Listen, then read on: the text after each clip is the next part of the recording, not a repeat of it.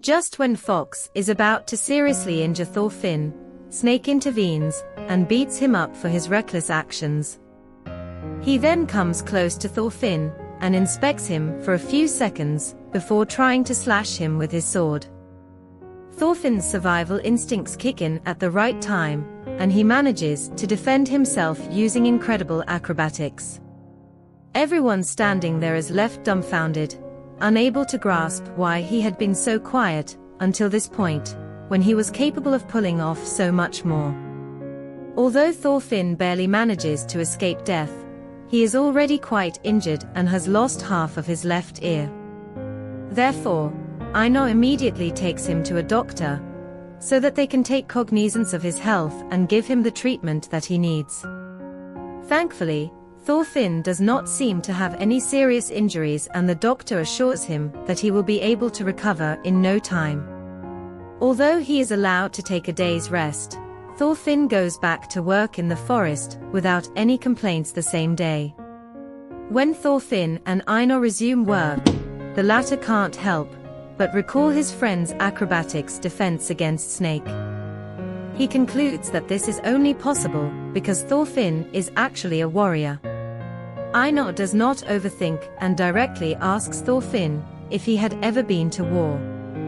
Interestingly, Thorfinn not only accepts it, but when pressed to reveal more, he even confesses to killing so many people that he has lost count at this point.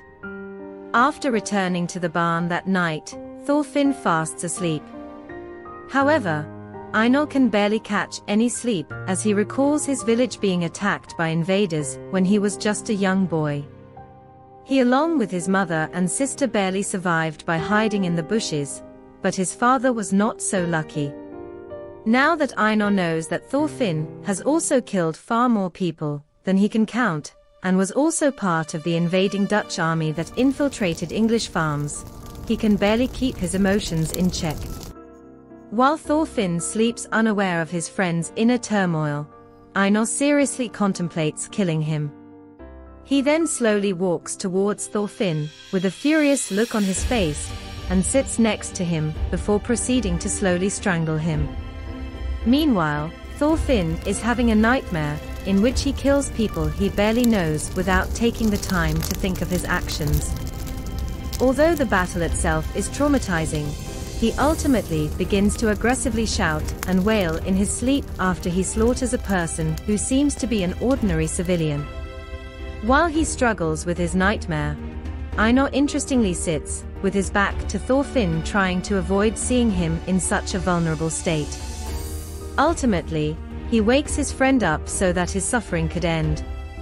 It seems that Einar has decided to not kill his friend and appears to show some sympathy for him.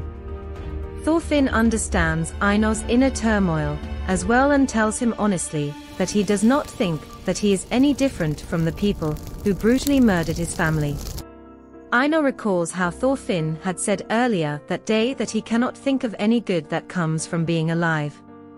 He also added that he has never felt glad to be alive. Einar, who was going to say something stops momentarily and contemplates the meaning of Thorfinn's words, and proceeds to admit that he cannot fathom the hardships that he has gone through over the years. But Einar does point out that despite the hellish situations they may sometimes be in, they are at least lucky enough to talk to each other, eat, and sleep peacefully.